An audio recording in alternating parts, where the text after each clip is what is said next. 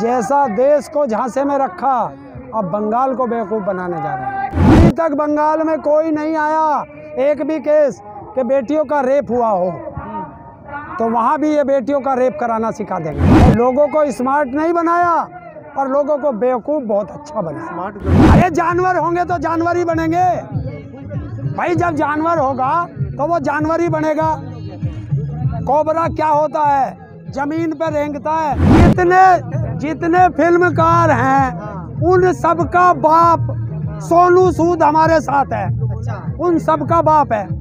मुझे बरगलाने वाला अभी तो पैदा नहीं हुआ। हाँ हिंदुस्तान तो सारा बन गया बंगाल बनेगा।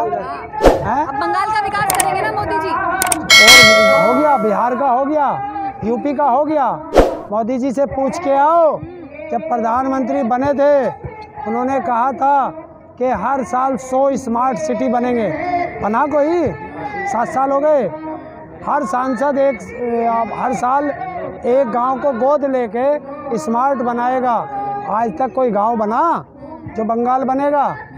जैसा देश को झांसे में रखा अब बंगाल को बेवकूफ़ बनाने जा रहे हैं। बंगाल का विकास कर देंगे वो आपको नहीं पता? क्या यहाँ का कर दिया? आप लोग करने नहीं दे रहे। क्यों हमने क्या रोक रखा विकास करने को? बताओ कौन सा स्मार्ट सिटी को हमने रोका हो? कौन से गाँव को हमने रोका हो स्मार्ट बनने से? हाँ एक काम कर देंगे कि उत्तर प्रदेश में शमशान घाट से घरों में डेड बॉडी आने लगी।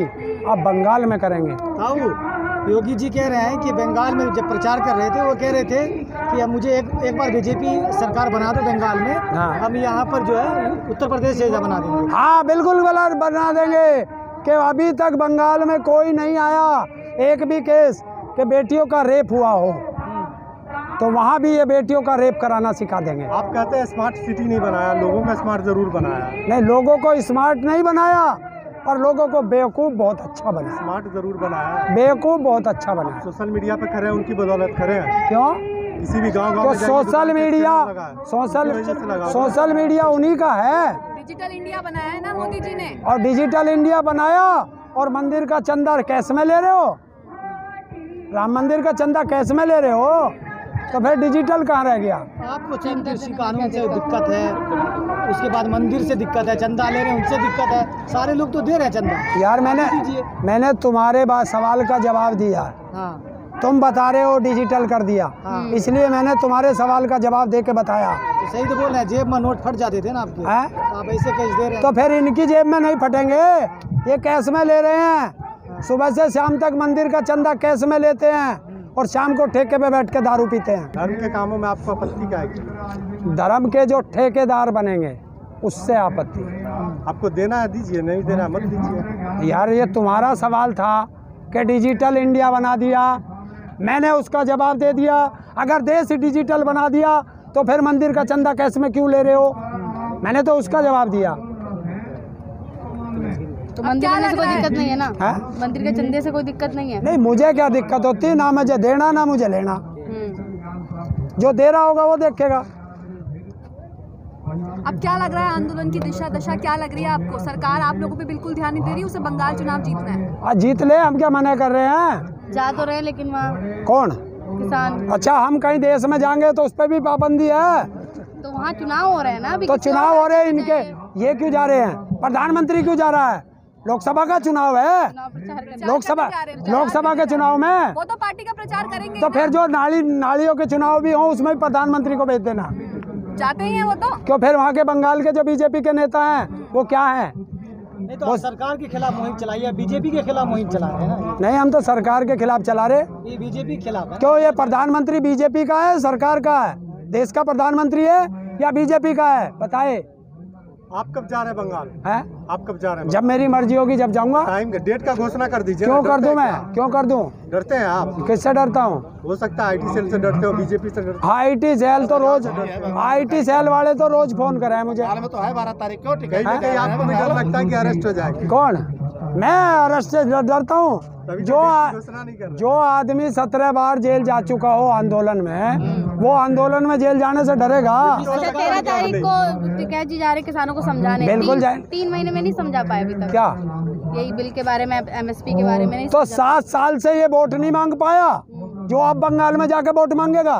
क्या कर रहा था जब सात साल से? सात साल से अगर देश में विकास होता तो एक बार यहाँ से बैठ के कह देता कि विकास हुआ है और विकास के नाम पे वोट दे दो। लेकिन विकास के लिए टाइम तो दीजिए आप साठ साल मांग रही है विकास के लिए आप लोग देने को तैयार नहीं है। तो सात साल दे तो दिए और साठ साल, साठ साठ साल हाँ फिर ही नहीं देते साठ साल देश को गुलाम बना दो। क्यों कांग्रेस ने भी तो सत्तर साल राज किया था। कौन कह रहा सत्तर साल राज किया बेटे? तुम हिसाब लगा के बताओ। या तो तुम भी मोदी भक्त बन गए या तुम पे गणित नहीं आता है? सत्तर साल में तीन साल तो मोदी के।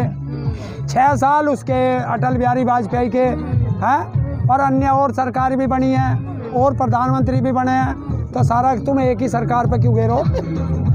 नंबर आज तो नहीं किया ना? क्या? कांग्रेस अगर उसने किया तो तुम भी उसी के नक्श कदम पे चलोगे?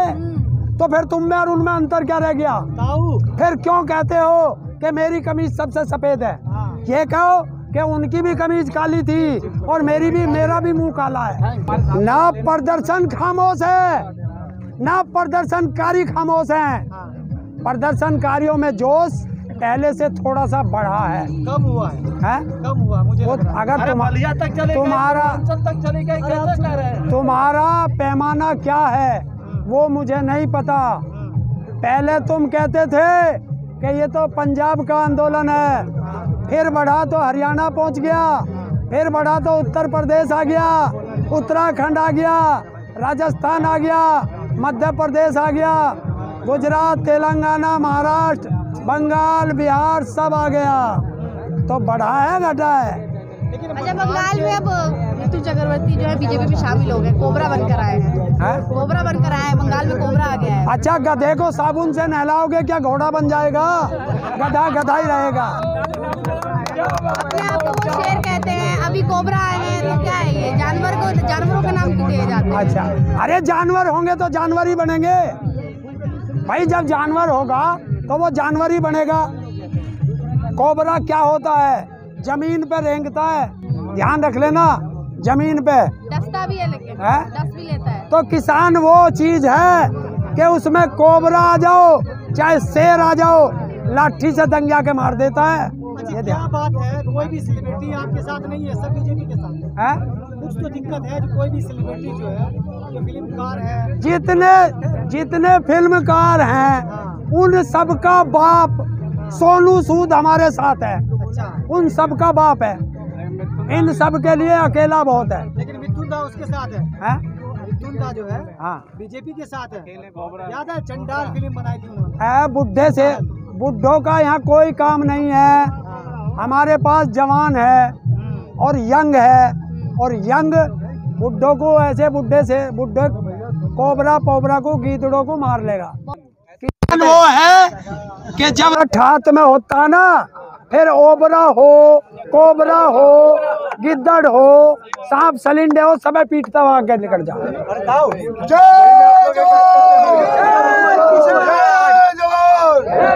एक फिल्मी एक्टर से डर गया आप लोग? कौन? किसान कभी डरा है?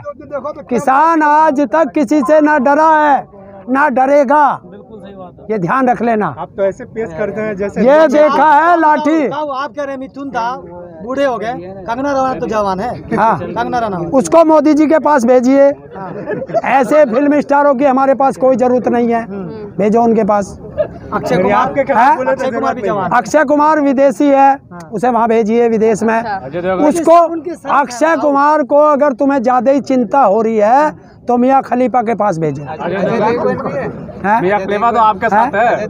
अरे यार तुम इन फ़िल्म स्टारों से बात कर रहे हो या किसानों के मुद्दे पे बात कर रहे हो? आपने कहा अक्षय कुमार को मियाँ खलीफा का भेजो वो तो आपका समर्थन कर रही है किसान आंदोलन का कौन? हाँ तो जब तो कह रहे हैं वहाँ भेजो वो सुधार देगी इसे। अच्छा। हाँ। अजय देवगन को हैं? अजय देवगन को इसे हरियाणा के दौरे भेज दो। अच्छा। हाँ। तो आप किसको देखिए। तो आप किसको सुधारेंगे? हैं? आप किसको सुधारेंगे? हम इसे देश की जो गद्दी पे बैठा है, इसे सुधारेंगे। हाँ दाढ़ी वाले को। लेकिन तीन महीना में अभी तक कुछ नहीं सुधार पाया। हैं? तीन महीने में हो गया। हाँ। मतलब सौ दिन हो गए। हाँ। कुछ भी सुधार नहीं पाया। अरे हम तो सुधारने आए थे पर अपनी बुलेट ट्रेन में बैठ के भाग गया। भाग गया पता नहीं कौन सी बुलेट ट्रेन चलाई। प्रचार कर रहे हैं ना। है? चुनाव प्रचार कहाँ है। चुनाव प्रचार करने गए हैं। चुनाव प्रचार करने गया? क्यों? जीतेंगे। कौन? दीदी को हराएँगे। किसे?